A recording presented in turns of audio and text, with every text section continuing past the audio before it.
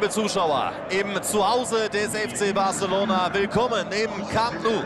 Jetzt Ein ganz klein wenig verzogen, wirklich Pech gehabt. Kleine Spielansammlung hier direkt nach der Pause. Ich bin mir sicher, die wollen eine Menge bewegen in diesem zweiten Durchgang. sucht die Lücke, er trifft ihn. Sie suchen nach Räumen. Flanke nach innen. Da haben sie nochmal die Chance. Ja, steht's 1-0.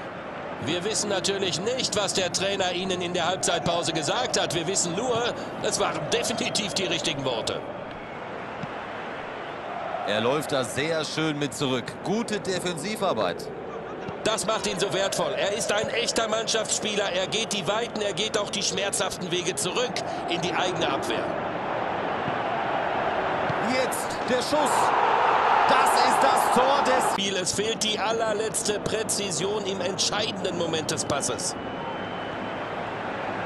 Versucht da durchzustecken.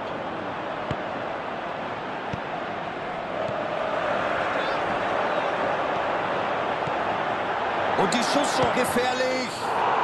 Und sagen wir nun dazu? Auf solch einer Defensive kannst du aufbauen. Sie haben wieder mal kein Gegentor zugelassen und sie haben völlig verdient gewonnen. Die Fans gehen schon nach Hause, wir gleich auch. Aber bevor es soweit ist, noch ein recht herzliches Dankeschön an Hans.